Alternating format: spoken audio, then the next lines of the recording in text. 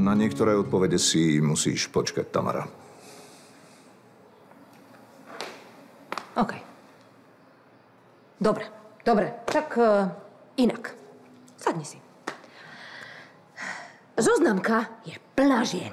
Tak prečo si ty tu, keď sa ti úplne evidentne nepáčim? Páčiš sa mi ako už dlho žiadna žena. Dobre, dobre. Aj fyzicky? Alebo len uh, astrálne, ako to vy duchovné bytosti hovoríte? Hlavne fyzicky. Ha, aleluja! Dobre.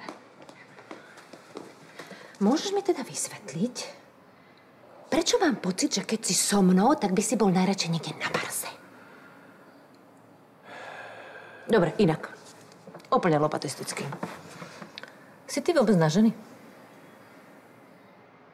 Som, ale momentálne mi to je na nič. Čo? Jak, jak na nič?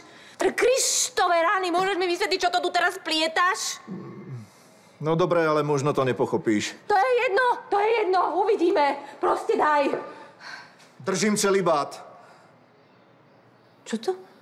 No, mesiac ubúda, tak je nevhodné udržiavať iné kontakty ako duchovné.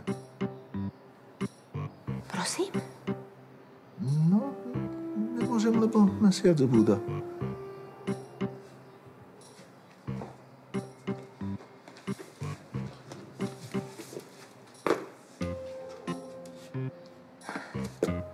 A čo bude teraz s mojou odblokovanou